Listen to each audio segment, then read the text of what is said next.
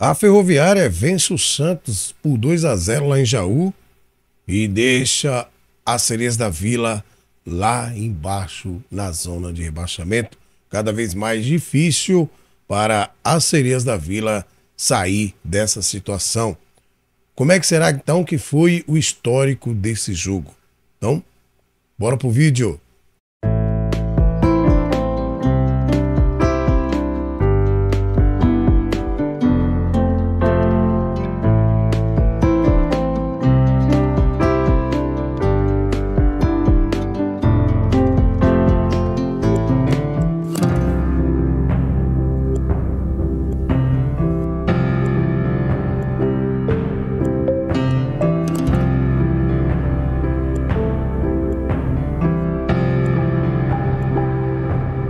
Olá, meus amigos, minhas amigas, torcedores de todo o Brasil. Estamos aí de volta com mais edição do Vlog do Franco nesse domingão aqui para trazer para vocês aí o que aconteceu no Brasileirão Feminino nesse sábado em destaque esse jogão entre Ferroviária 2 Santos 0. Mas antes, peço que você deixe seu like, compartilhe com seus amigos e claro, meus amigos, minhas amigas, se vocês ainda não se inscreveram, deixa essa moral, se inscreva no nosso canal, ajuda a gente a bater nossa meta e, claro, você dá mais visibilidade ao futebol feminino. Tá certo? Conto com vocês, hein, meus amigos, minhas amigas.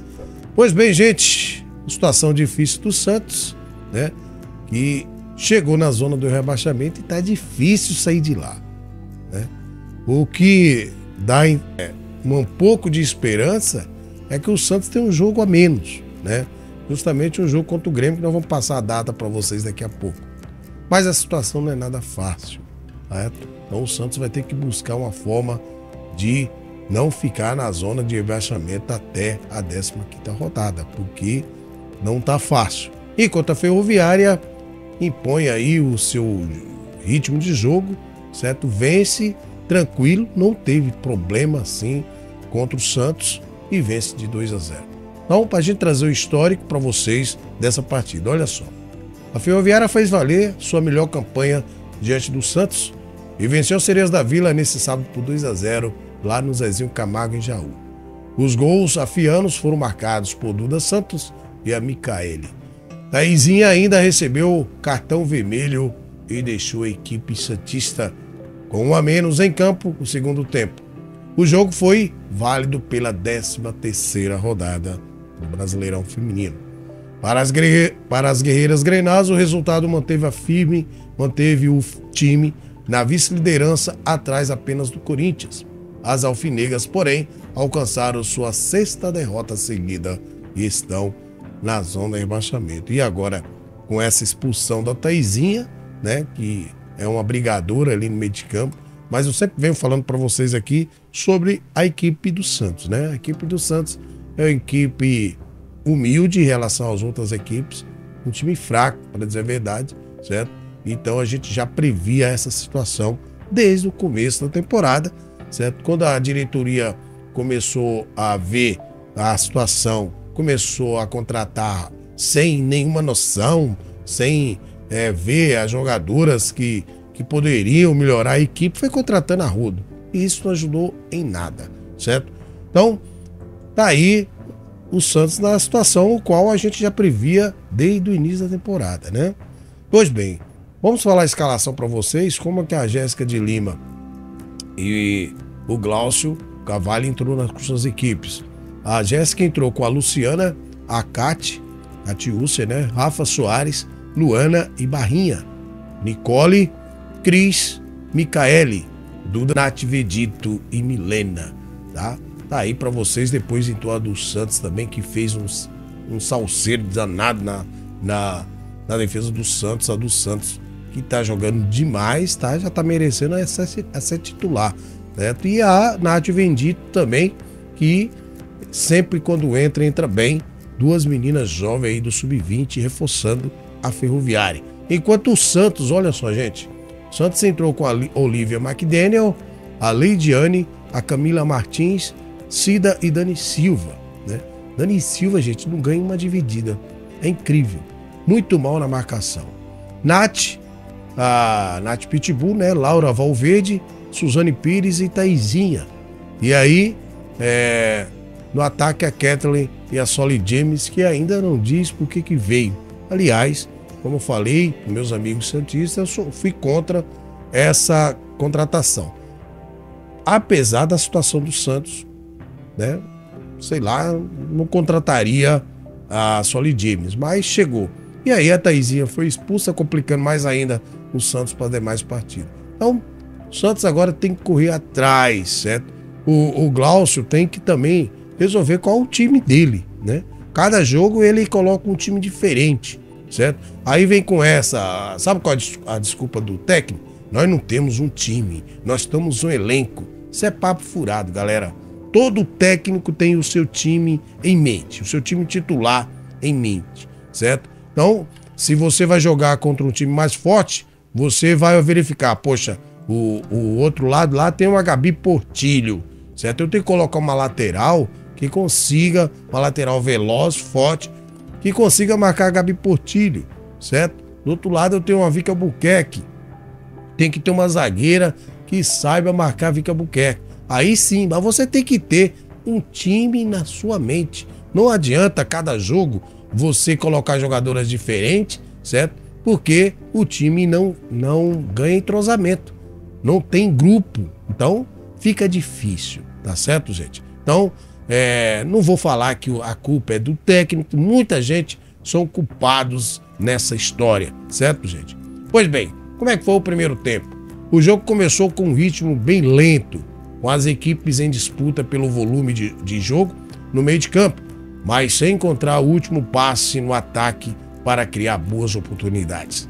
O Santos buscou quebrar a marcação da Ferroviária com bolas investidas, mas as defensoras grenás liam bem as jogadas. A partir da segunda metade, a Ferroviária dominou a posse de bola e ficou mais à vontade. E aos 37 minutos, Micaele, sempre ela, né? Faz um belo lançamento dentro da área e Duda Santos só encostou, né? E chegou por trás da marcação do peixe, completou para as redes de perna direita para abrir o placar. Aos 42 minutos, Luana fez mais um, mais um, mas o, o tento foi anulado por conta da falta de Nicole em cima da goleira Olivia no lance. Pois bem, aí o primeiro tempo, né? O Ferroviária, para mim, melhor em campo. E o segundo tempo, como é que foi? Olha só com a entrada da, de Paola no segundo tempo, que não deveria estar na reserva, né? Pois bem, as sereias voltaram com uma atitude mais agressiva e passaram a pressionar a ferroviária.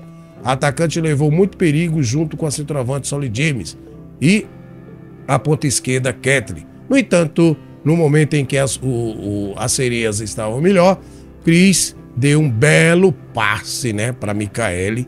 A Cris pegou, virou colocou a Micaele quase frente a frente com o gol, que entrou pela direita e finalizou forte no canto da Olívia para, é, para derrubar um balde de água fria nas Santistas, certo? Que tentava é, se recuperar na partida.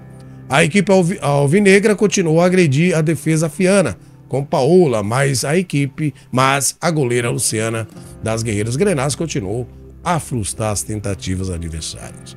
O jogo ficou mais intenso e as serias perderam Taizinha, que levou o cartão vermelho após impedir um lance, é, uma chance clara de gol do Santos. Com a vantagem numérica, a, a Fiana administrou o jogo e confirmou sua vitória. Para mim foi realmente foi é, falta, né? Não sei se para tudo isso, né? Como ela era a última jogadora, é, foi, a, a juíza resolveu expulsar certo? Mas para mim foi falta claramente, certo? E a Taizinha mereceu ser expulsa por é a regra, né? A última jogadora fez uma falta e ela puxou realmente a do Santos. Pois bem, gente, tá aí. O Santos é, precisa sair dessa situação, mas não sei como, né? Porque cada jogo que você vê, o Santos está pior. O Santos não, não, não dá sinal de, de recuperação, tá? dá sinal que vai cair mesmo, certo? Ah, ainda tem um jogo a menos, mas tá difícil pro Santos. São três jogos agora para determinar se o Santos vai sair ou não. Então, o próximo jogo contra o Grêmio e o próximo jogo contra o Botafogo serão determinantes para a equipe Santista, certo? Ah, Então vai ter o tempo aí para treinar a equipe. Pois bem, gente, e como fica? Olha só, a Ferroviária segue com sua invencibilidade nacional e também na segunda colocação agora com 28 pontos. Já a Sereia soma apenas 7 pontos e estão na, em, na décima posição, a antepenúltima posição no Brasileirão Feminino. Exatamente, 4 pontos à frente do, do Havaí Kidman e 3 pontos atrás do Botafogo. E a agenda, olha só. Pois bem, no Brasileirão agora vai dar uma, pra, uma pausa devido a as Olimpíadas, né? Os compromissos também da seleção brasileira, certo? E agora, pelo brasileiro, a Ferroviária joga só dia 18 de agosto, previsto para 18 de agosto contra o Atlético Mineiro, certo? Já o Santos joga no próximo domingo, dia 23, contra o Grêmio às 18 horas, partida atrasada da nona rodada do Brasileirão Feminino. Pelo Paulista Ferroviária, que está mal no estadual com apenas um triunfo em três partidas, joga contra o Marília na quarta-feira, às 18 horas, novamente em Jaú. Já o Santos terá o Palmeiras. É, o Santos que vem de uma série difícil aí. É, terá o Palmeiras pela frente, quinta-feira agora, às 17 horas, em Jundiaí. É, Santos, tem que respirar fundo e jogar, porque a situação tá difícil, certo? Pois é, gente, muita gente fala que a culpa é do técnico, né? Eu acho que todos aí têm culpa, né? Eu acho que a diretoria tem culpa do Santos, a, a, o técnico do Santos tem culpa e as próprias jogadoras. Nós não podemos agora passar mão na cabeça das jogadoras, não, certo?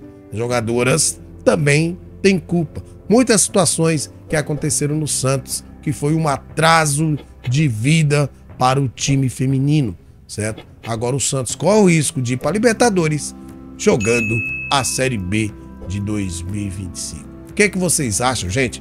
Se você acha que o Santos cai, não cai, certo? Como é que fica a situação do Santos agora no Brasileirão? Pois bem, vamos ficando por aqui, desejando a todos vocês aí um maravilhoso domingo e uma semana abençoada para você e toda a sua família. Abraço do Franco. Fui.